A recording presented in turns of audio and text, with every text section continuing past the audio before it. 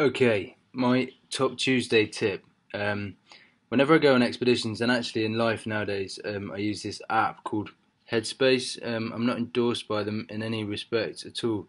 Um, essentially, if if you ever feel like life is getting a little bit difficult, or you struggle to not get stressed about certain things, or you can feel your shoulders tensioning up, or you can't sleep, or all sorts of little things that you might allow to niggle you, and rather than reaching for a beer or um, even worse, a cigarette or something like that, I now just um, use this little app.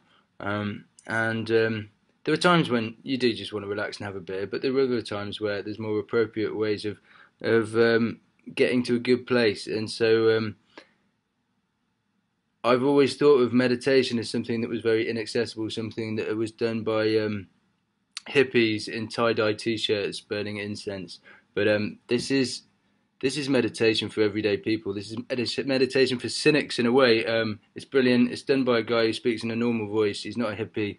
Um, he's a skinhead actually. Well, actually, he's a monk. That's probably why he's got no hair. But um, he's called Andy Puddicombe, and he runs this company called Headspace, and they do this incredible app. And basically, ten minutes a day is what it starts at, and you finish it, and you go, "Do you know what? I really do feel much better now. I actually feel like I've got a bit of headspace, which is kind of nice.